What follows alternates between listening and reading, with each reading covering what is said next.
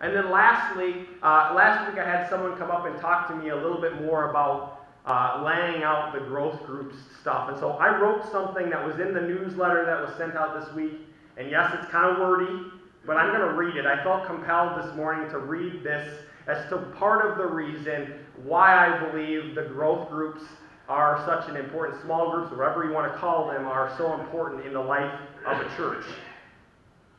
We've been called as a body of Christ to participate in God's building of the church.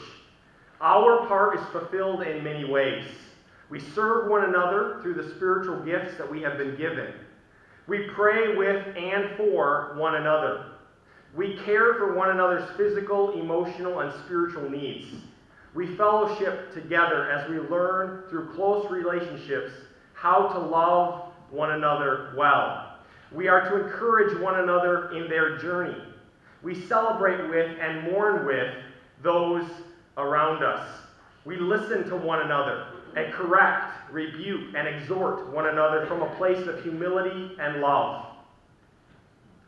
We study the Word together. It is sharing resources, breaking bread together, and worshiping together. We sharpen one another, we grow together, and we train and refine one another for personal ministry. In essence, we do life together. Now, Sunday morning services are great and they play a role in this. And this is, as we all know, it's a place to gather corporately to worship God, to come back together, to fellowship, to reconvene with the saints. But it is not laid out in a way that does, that fulfills a lot of these one another commands that I wrote about here, but they are biblical, scriptural one another commands that we are to live out on a regular basis with one another. So we can draw some of this from Acts chapter 2. Now, given the difference in our culture and first century AD, you may find we actually have to work harder to develop intentionally these relationships because we live in a very individualistic, busy, scheduled lives. We fill our times with activity and we don't often leave a lot of time for others. But we need to prioritize, prioritize both our faith and our children's faith. Now, there are two ways that have shown themselves to be true about the best way to grow as disciples to raise up leaders, to raise up disciple makers. If you look at Matthew chapter 28, our vision, we are to be disciples who build up disciple makers. The first method is one on one discipleship. Now, this is an aside, but it's important. I wanted to state this. Where two men or two women get together and do the things that I described at the beginning. It's an opportunity for people to be vulnerable, to study uh, and, and become deep and build these deep, lifelong relationships with one another. It gives us connection to the individuals in this church, just as Sunday gives us the connection to the body of the church. So one on one discipleship is important. It is, it is really a lifeblood of the church. But secondly, my focus is on the small groups. I told you I'm calling them growth groups. My reason for that is I want you to understand these are not groups designed to just hang out with for the rest of your spiritual life. They are to grow with in the desire that we are to be raised up, to be trained up, to go out and share Christ likewise in these one on one relationships, in these small group settings. But I was thinking about this a lot this week after this comment was made to me. And small groups provide a safe testing ground to deal with the good and the hard parts of interpersonal relationships. Interpersonal relationships are difficult, marriages are difficult, Dealing with friends is difficult. Dealing with those who we just come into in the marketplace or in life is difficult. But it's also to help equip and build up one another with this goal, this great commission that God gave each one of us. And we know that there's a level of intimacy and interconnectedness that we do not find on Sunday mornings. It is impossible to recreate that just in this setting alone. Additionally, being a part of a small group provides us an opportunity to train in a variety of things. You've heard me make an emphasis of this on Sunday mornings as it is the importance of being able to and doing and sharing one's testimony. As you meet with these groups, as you pray over and consider being a part of this, I want you to know that one of my visions for this is that you will develop, if you haven't, and practice with your group what your testimony is. Are you prepared if someone were to come up to you today and say, What, is, what has God done for you? Are you prepared? Are you always prepared to give a reason for the hope that lives within you? So, an opportunity to do so, an opportunity to, to really understand what it means to share the gospel. If someone comes to you right outside the door this morning, you're leaving, and someone happens to show up and they ask you, they ask you about something in life, are you prepared to give them the gospel message? Or are you thinking, I don't think I could do that. That's not me. I don't. I, that makes me nervous. The thought of that. Yes, it's the Spirit, but there's also an element that with the Spirit we are called to have a clear, coherent message in there as well. But in these groups, it also provides ways to have deep theological conversations. I can tell you, the Sunday mornings, I give you the theology that I've studied up this week, but there really isn't any time for conversation, is there? The back and forth, the questions, the answers, the so forth. Because that's not typically how Sunday mornings are designed, but we need that. You don't just grow by consuming things in. But aside from that, it also provides an opportunity to have other pertinent conversations about something that came up this week and you need some help, guidance, just someone to listen to you. It also provides a mobile network of caretakers. Hey, you know what? I have a need. Let me reach out to someone in my group and ask them if they can help me with meeting this need. And we have specifically individuals who are devoted to our prayer. They're praying for us on a daily basis. And then also practicing the spiritual disciplines. Because as the end of Matthew 28 goes, he says he sends them out into the world to do two things. To baptize one to baptize them and to teach them to do all that I have commanded. And that's a part of. That's the refining. It may be, well, here's what Scripture says. Here's what I'm experiencing in my life. Let's try to work this out. How do these things come together in some way? These are questions that each of us have every week. And the reality is, is that those questions don't get answered on a Sunday morning, each one, because there's just too many of them. So I want to just challenge and encourage you. I will say again what I've already said twice before this body if I had to give up every other ministry in this church, aside from worship, I'd be willing to do it if there was an investment in small groups. Because it has the opportunity to talk about and deal with living out the faith, and it provides a platform for, you may say, well, what about all the caring, all the needs there are? That's why we have deacons, but that's also why we have these groups designed to help with the care and love for one another. So I, I, I deeply encourage you to, to pray over this. You know, during the week or after the service, come talk to me. You know, develop some specific questions you might have, or say, what might this look like? Or hey, maybe it's, you know what? I've heard this. I'm intrigued. Maybe I'm even willing to step out in faith and, and, and try leading something. This is not going to be you have to come up with all the questions on your own. This is going to be kind of guided. So talk with me more about that I'm done with this for now, but it's really about the one another commands and how we can best do that, even in a body of 40, 50, 60 people. We need that. We all need that intimacy that we get in smaller groups.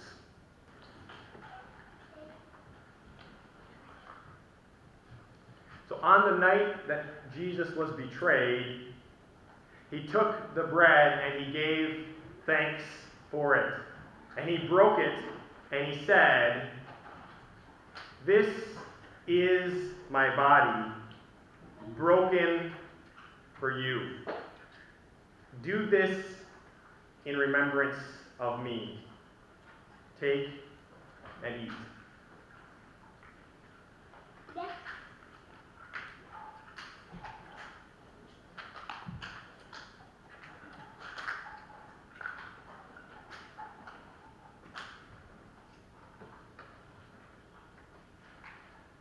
The same way, he took his cup. And he said, This cup is the new covenant in my blood. Do this as often as you drink of it in remembrance of me. For as often as you eat the bread and drink this cup, you proclaim the Lord's death until he comes again. This is my blood. This is Christ's blood shed for you. Drink ye all.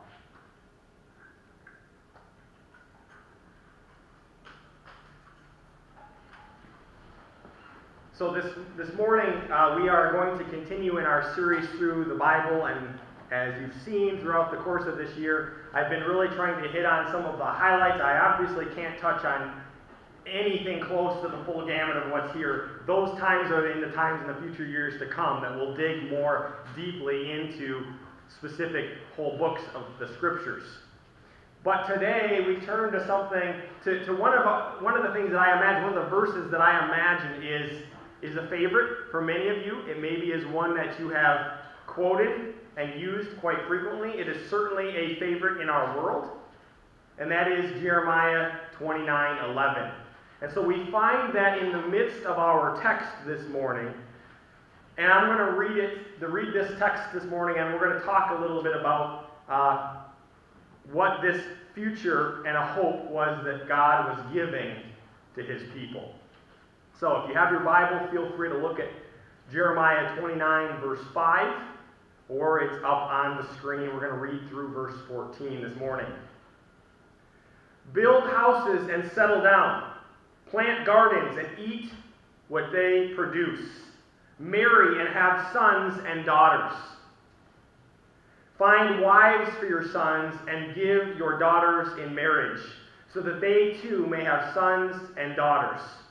Increase in numbers there. Do not decrease. Also seek the peace and prosperity of the city in which you have been carried into exile. Pray to the Lord for it, because if it prospers, you too will prosper. Yes, this is what the Lord God Almighty, the God of Israel, says Do not let the prophets and diviners deceive you. Do not listen to the dreams you encourage them to have. They are prophesying lies to you in my name. I have not sent them, declared the Lord. This is what the Lord says.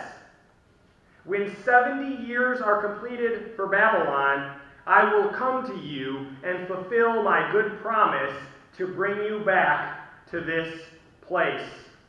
For I know the plans I have for you, declares the Lord plans for a hope and a future, plans to prosper you and not to harm you. Then you will call on me and come and pray to me, and I will listen to you. You will seek me and find me when you seek with all your heart. I will be found by you, declares the Lord, and will bring you back from captivity. I will gather you from all the nations and places where I have banished you, and will bring you back to the place from which I carry you into exile. Now, if Jeremiah 29:11 isn't one of those verses that you like to, to use and cling on to for hope, there are no doubt many others. Of those favorite verses that often get displayed on jewelry for example, or on mugs or on the walls of one's house. Now, oftentimes we hear the verse quoted, but we often fail to neglect the verses around it. We don't think about the context with which that verse was given. And so we may call this biblical cherry picking. Seldom do we often look at the outer context or the greater context. We kind of pass this verse along because, hey, it's, there's a hope and a future for you, regardless of what you're facing.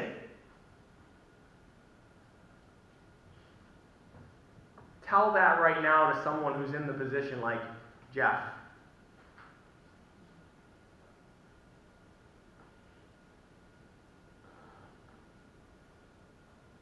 It isn't going to go. I mean, they, it's very difficult in the midst of a crisis, if not impossible, to see that hope and a future.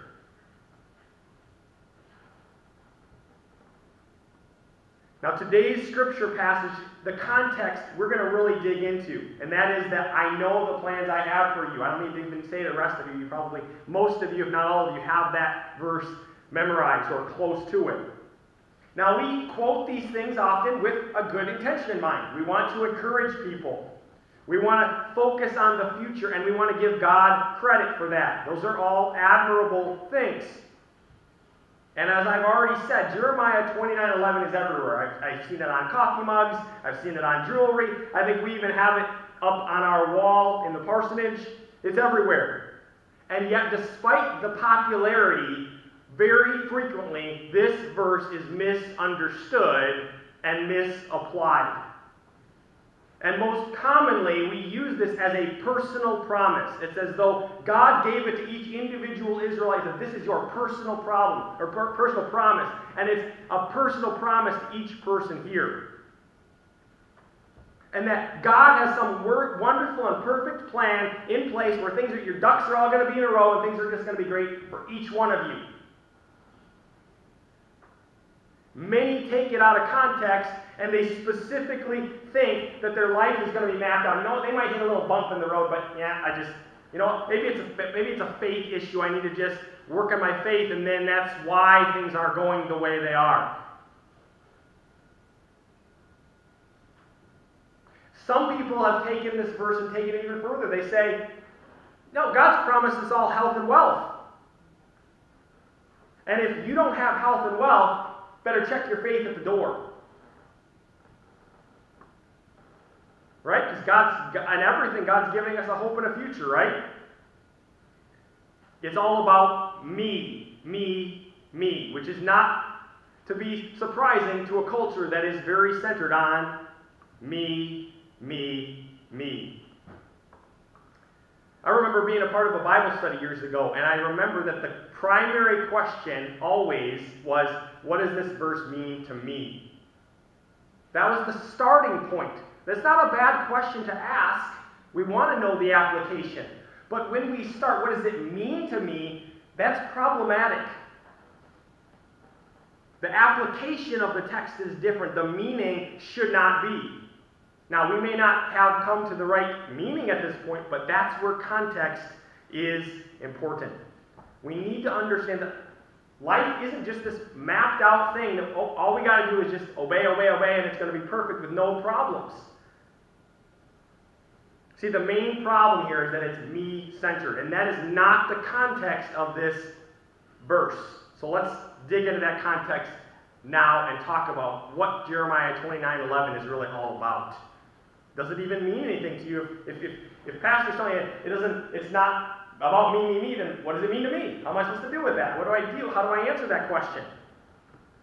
Context matters. Now, I shared something I learned in seminary way back when I first was preaching here, I think maybe last August. It was a statement, and it's a statement I, I fully believe in. It is context is king. And what I mean by that is if you don't have the context of anything someone is saying, biblical or not, it is very easy to twist it out of what the meaning was. And so there are three principles. I did not put these on the screen. I should have, but they might be worth jotting down if that is something that would be helpful. There's nothing earth shattering here, but it might be worth, worth considering. These are three good principles when you are dealing with interpreting Scripture. First, look at the texts, the verses that are immediately surrounding it. Don't just read a verse like Jeremiah 29 11 and claim it as yours as the truth, as this is the way it is, without understanding what's before it, what's after it. Otherwise, you're at extreme danger of plucking it out, cherry picking it, and misapplying it. Secondly, you must consider who was the original audience. Who was the text to? Now, that doesn't mean it doesn't have application for us, but to try to take something from back in Jeremiah's day and assume, well, whatever it meant to them clearly as or what it apply, how it applied to them is exactly how it applies to me today in the 21st century is not good, smart thinking because things are different. And then finally, we must consider the full narrative of the Bible. We often run into verses like Jeremiah 29 11, and we think, well, this is what it means, but we need to step back and think about the scope of all of Scripture. Now, we're not going to address point three very much today, but I'm going to say just one thing about that. When we think about this verse in light of a me centered, it's all about what this means for me. That is contrary to what the Bible teaches about. It teaches about the need to be selfless, not me centered. So, before we actually dig into some of these uh, misunderstandings, let's rewind a second. Let's roll back the tape and think about the context with which Jeremiah is speaking. As I've said in the last few weeks, the Israelites have been taken into captivity in Babylon. They are slaves in this land. A few of the most uh, educated and, and wisest individuals end up in places of prominence, but the vast majority of those who are in there have been taken away and they're being used as slaves. Jeremiah, in the verses that I read, is speaking in, there's a void that's been going on. They aren't hearing from God, but these prophets decide to step forward and provide and fill the void. So forget Jeremiah for a second. A bunch of prophets step forward and they think, what is it that people will want to hear? And so they lie to them and they tell them, don't worry, fight back, resist. Your time here will only be a few years. God's going to bring you out of captivity. So, you know what? Don't worry about thinking about the future. God's going to turn this thing around here in just a couple short years. Now, imagine for a second you're dealing with maybe some financial struggles. And if someone came and said, you know what, don't worry about the long term because God's going to you know, you're going to you're to get a bunch of money here in two years, or you're going to get the finances that you need. Well, if you trust the person, you may say, well, you know what? I'm not going to worry too much. I'm just to that, that money's going to come. That promise is going to come there. So they're they're feeding them what the people want to hear, and the people are eating it up. And so it's in the midst of this lie that Jeremiah steps in. So before I say what he said, let's get to the sermon in a sentence this morning, and that is that God is working out, or God is working in our lives for our ultimate good, which is the salvation of our souls. Now, in Jeremiah 29, after the false prophets have been giving their spiel, giving the people what they want to hear, God denounces these false prophets in the harshest language. And through Jeremiah, he says, Nope, you guys are going to be around here for 70 years. 70 years. Now, how many people are going to listen to him? Now you understand a little bit, just a portion of why people don't want to listen to him, because that's not what they want to hear. Because how many of them do you think we're going to be alive in 70 years?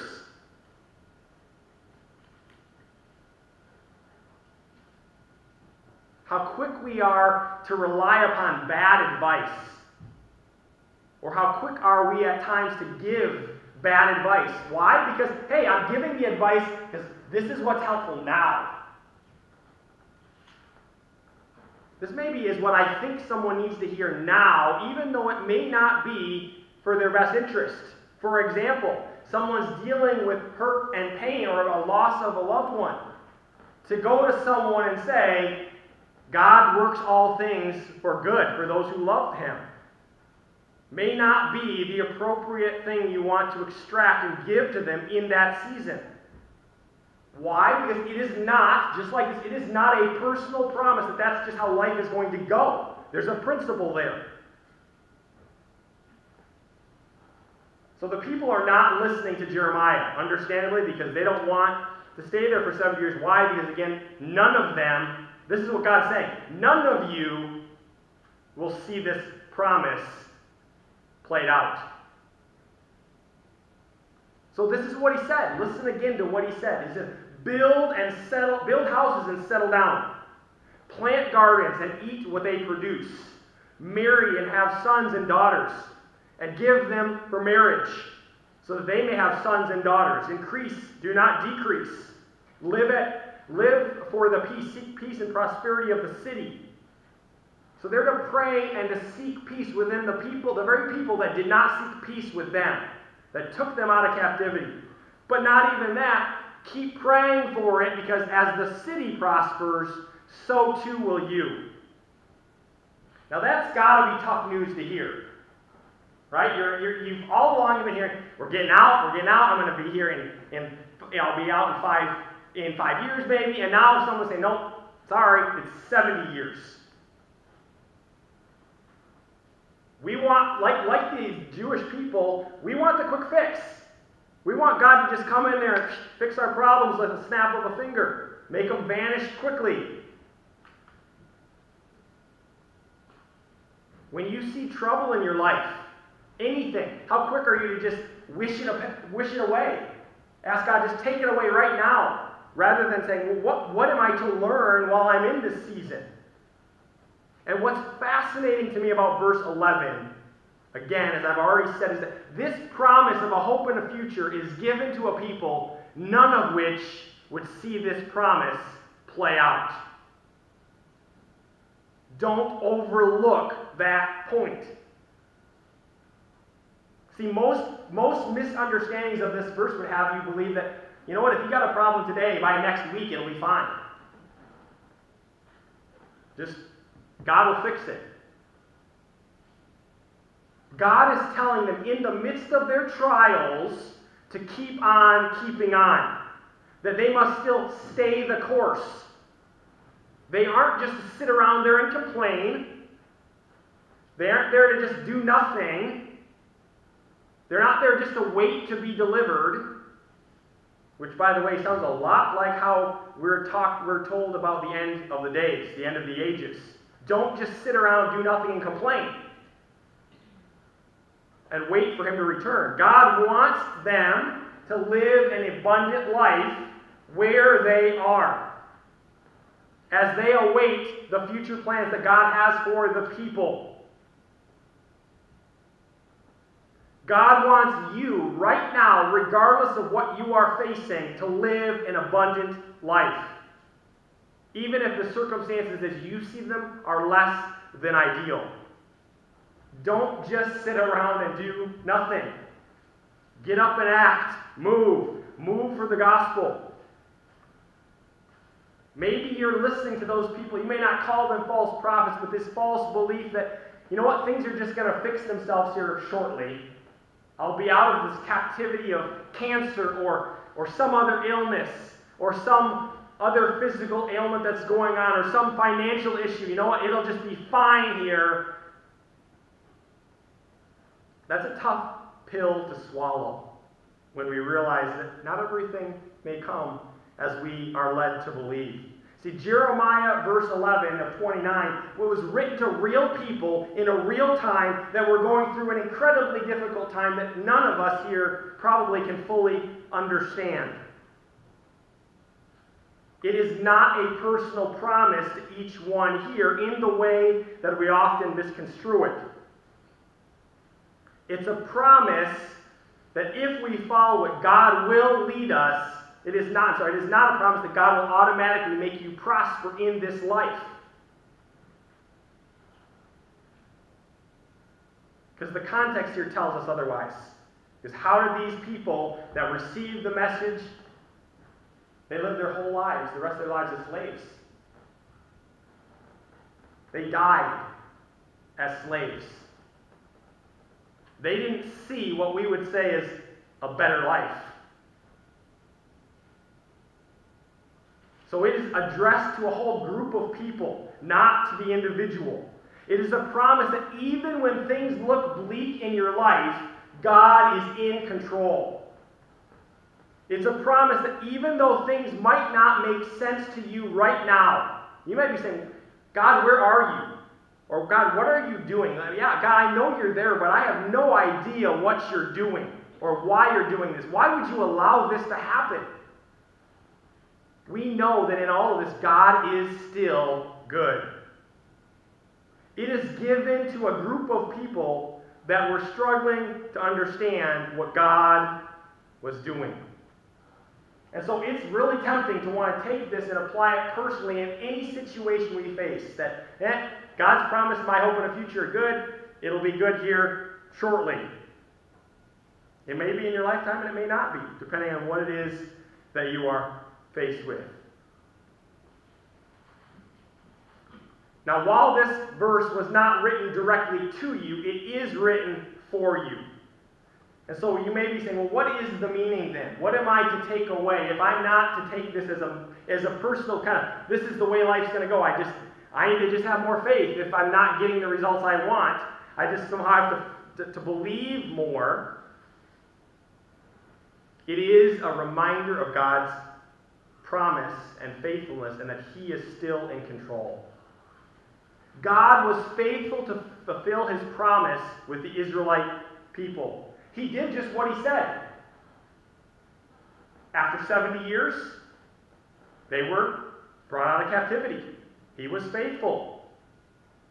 That alone should bring us hope that God will continue to fulfill His promises and that even in the dark days that you face or the difficult situations that you find yourself in, we can have hope that God will lead us through those times. It is not a promise that we will be prosperous in this life, that as long as we trust in Jesus enough, that life will just be easy, and that we'll have whatever we want. Now, you may be saying, well, whoever thought that? I can tell you there are many people who walk, step into the faith, and then they are not, they don't understand that, and then they find that life is absolutely no different in many ways on the surface. They think, well, this hasn't changed. I'm seeing the same result here. You know, the rain, the, the rain is still falling on me as it was when I was an unbeliever. So, what am I to do with this? Is this whole thing a lie?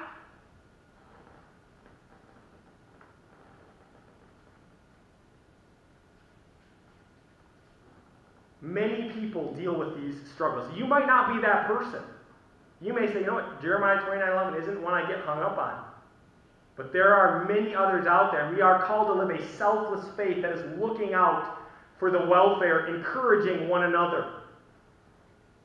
I'll tell you what, one thing I will not find, I'm going to give one more pitch for my small groups. One thing I will not find today, find out today, nor do I need to, is what you all think about Jeremiah 29 11. What you think about up here with it, and what you think about it in terms of how you have chosen to live your life. You don't get that opportunity like I do to share what Scripture's saying today and how that plays out in your life. But you do when you're in environments where you are called to interact with one another, to sharpen one another, to engage the text on a personal level, and ask the question what do I believe about this text, and how does that play out in the realities of my life? It is a purpose. This verse is a promise that His plan, God's plan for each of us, is good. And in the context of this verse, God's people that He's referring to is the Israelite nation. But we have all been, as Gentiles through belief in Christ, we've been given access to be adopted into the, His family as His children. So this verse still holds true today. So God, so this is not a promise that life will be easy or that we'll get exactly what we want and that things will just be good and that no harm will come and that if harm comes, you better work on your faith a little bit more. You better try a little bit harder, do more things, do the right thing.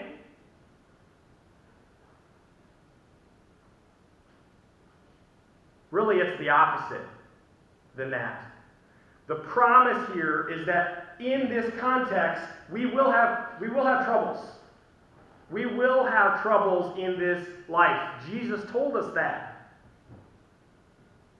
The thing is, just like the Israelites, we don't want to listen to that. We want to just hear the stuff that says things are going to be easier, things are going to get better, things are going to be smooth.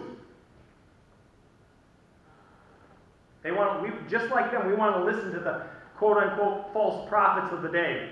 And that just may be the lies that are going through our mind or what we hear from other people that, well, this is what Scripture says. A good first question is Does it? Have you done your due diligence to decide whether or not what someone says to you or what you read on the internet is true? Biblical? This is no small concern. It's interesting. We had a topic in Sunday school, different issue, and we talked about how it was a secondary issue. It is not a salvation issue per se, but what's interesting is that many times it's the secondary issues that divide believers and also a, a misunderstanding of some of the secondary issues that lead people to leave the faith. Because they said, well, this is what it said, this is what I'm reading that it says, and this isn't happening. So what's going on here? What's the disconnect? So these things do matter. Because I have seen, personally, I've seen people whose faith life has been tipped, flipped upside down. They've been angry at God because, well, God, this is what you told me. You told me that my life was going to be hopeful and future, there's going to be a great future and there wouldn't be, you wouldn't harm me. But how do I reconcile that with what's going on in my life right now? Some of you, again, may be saying, I've dealt with hardship, and that hasn't, that hasn't made me lose the anchor of my faith. But that doesn't mean that it's not out there. And it may not be 2911 from Jeremiah for you, but it might be something else. So it is not a small concern. They spend their entire life trying to figure out, I just, how do I, how do I get more faith? You know, your life just seems to be going really smoothly. Tell me the secret. What is it that you have going for you? Why is it that God is blessing, blessing you over here when in reality, if we dug into the depths of what's going on in each and other's life, we'd realize there's a lot of negative stuff, things, trials that we're all enduring.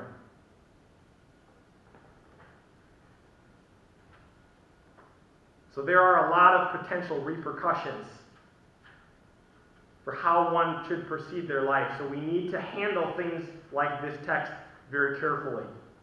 See, verse 11 is telling us this that while life will get incredibly tough at times, God is still in control. And while the difficult season you are in might not end tomorrow, it might not end next week or next month or next year, it might not ever end this side of eternity. God is still there. And hear this part. He is still bringing his people through it. He is looking for our good. He isn't looking for our good the way we want to do it or the good we think we want. He's looking for our good. And what is our good? My sermon in a sentence said it. Our ultimate good is for the salvation of our souls.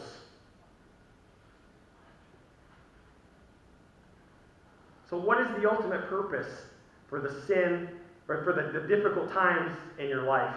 This question has been stumping people over the generations. And I, I liken it this way there's one common thread to this question that you'll most likely hear it said it's why does God why would a loving God allow suffering in this life? And we're not going to go down that rabbit trail today because that we could be here for another hour or two. But I will say this that when we are in the midst of the battles of this life, and I each of us, myself included, we are more apt to make crazy, irrational decisions when we are in the stress of the battles. We do things that make absolutely no sense. We would even see that they make no sense if we could see it looking back and saying, What were in the world were we thinking there? Why in the world did we do that? The, and, and many times I've heard people say, the only way I got through it is because my eyes were fixed on Jesus. And they may even finish by saying, I don't know what people do, how they survive or get through this if they don't know Christ. I hear that all the time. And it's true. We want things resolved now. We want things to be fixed like every sitcom that you've ever watched, where in 30 minutes or less, everything is back to normal and everything's just hunky dory. But God has bigger fish to fry rather than just to patch over something that needs to be changed. God has a bigger objective in mind for your life. So we best understand that God's plans will come to fruition. That's how we will understand them when we are seeing things as Christ did. So in that passage, we read about we understand God's will more when we are following and seeking Him with all of our heart. We begin to realize it isn't about me. Matthew chapter 6, verse 25 is a good parallel verse here. It's where Jesus says, Therefore I tell you, do not be anxious about your life, what you will eat or drink, or about your body, what you will put on it. Is not life more than food, and the body more than clothing? Look at the birds of the air. They neither sow nor reap nor gather into barns. And yet heavenly and yet your heavenly Father feeds them. Are you not of more value than them? This verse, these two verses here have direct meaning to verse 11 in Jeremiah. It isn't a promise where nothing is going to happen in our life that we have to worry about. Things are going to happen every day where you think, okay, how do I address this? I've got to think about this, this, and this. I've got to worry about what might happen. You know, what might happen to my my kids when they go off to college. I mean, that's a long time that. Between them, what about what about when they meet friends and they start interacting with people who don't share the same value system? I mean, you can dig into all sorts of things that we as parents, as friends, as neighbors, that can, can be worrisome. But it is a promise that in the midst of these worrisome problems, we can have peace. Because God is in control, even when things don't make sense. God has promised to be with us and that we can find peace and rest in Him. Brothers and sisters, the gospel message is not an easy life message. There's this thing about dying to oneself and having to carry the cross daily. It isn't an easy life, but it's a promise of the hope that God will help us because, and He already has helped us by overcoming death with His payment at the cross. We all know it. I'm not speaking to anybody that doesn't know this, but we are going to continue to experience obstacles. And you're going to continue to go through the trials in life. There's nothing I can do, there's nothing no one else in this room can do to remove that from you. Those things are going to happen.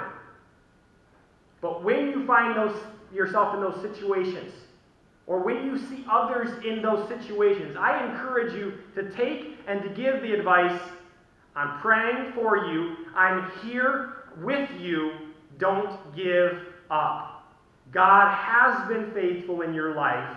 God will continue to be faithful in your life. And I want you to know that I'm going to be right here along the journey so that when you need, if you need that something, you bring it to me.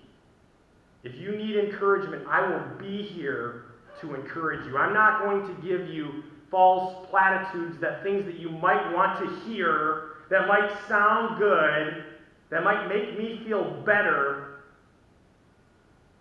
if I'm not willing to stick around and be invested in the life of those who are enduring it. God has a plan for each of us, and we all know, and we all don't like the fact that oftentimes it isn't on our timing. We want things done and fixed and resolved. But when you find it, pray and ask God to reveal His plan for you, to reveal more and more of His Word and His Son to you. And seek Him with all of your hearts. Then and only then will you have an understanding of who Christ is and how he's going to bring us out of our captive state. Because, brothers and sisters, we have all been in a captive state. We were all captive to the philosophies of this world, to the sins of this world. We're to move beyond that and to not be taken hold of those things. Finally, God does, regardless of what you think or feel right now. You may be feeling down in the dirt. Maybe not because of my message, hopefully not because of my message, but just because of what life has given you. God does desire for you to live an abundant life here on this earth. But his true plans, the plans that we really see being laid out in verse 11 here, are for the next life. That's when they will be realized. Let's pray. Heavenly Father, we thank you for your word. Lord, we, we thank you for verses like Jeremiah 29 11. Lord, you have given us through your word uh, an understanding, just as you did to the Israelite people, that, that you do have our best interest in mind. And Lord, we acknowledge that we are temporal and that we are short sighted and that we are often looking for the things that will benefit us here and now. And that we are too quick to discount the value of you and anything that you are doing if we don't see those results immediately. Lord, teach us to have a mindset that says, Lord, regardless of what we face, regardless of what we are enduring, even within this country, Lord, to be faithful to you, to not sit around and just spend all of our days complaining or not knowing what to do, being bitter about life's circumstances, or even trying to predict what's going to come. Or we know what's going to come. We know trials and tribulations are coming. And they are even to this, even at this point, they are parts of our reality. Lord, we also know, as I said last week, that you ultimately win. Lord, we know that that is the ultimate good that you have for each of us who love you and seek after you with all our hearts. So, Lord, when we endure these trials, I pray for a spirit of, God, what are you trying to teach me right now? Lord, how can I use the way that you have led me through trials in the past to help me reconcile and deal with and, and even find a, a small way to even enjoy some of the trials that are to come. Lord, how can we use the benefits of the trials with which we face in the way that we are present with others who are now facing similar trials? Lord, we are here as one body. Lord, we are here because you have called us to be here, to be Uh, loving one another, and all of those one another things that you have commanded us to do in Scripture. Lord, help us to never look lightly on your words. To not simply just take a meaning for a text because that is what gets passed along to us in any source we look, but to consider the context. Lord, we thank you for your word, a word that is that is made clear to those who honestly discern and seek your no- the knowledge that you willingly provide to us and yet complex enough that requires us to take our focus off of the world, off of the world, and to really devote ourselves to studying and meditating on it. We thank you for the gift of your Son, for what he did for us on the cross, and in your name we pray. Amen. Please stand for the benediction, and there will be a closing song.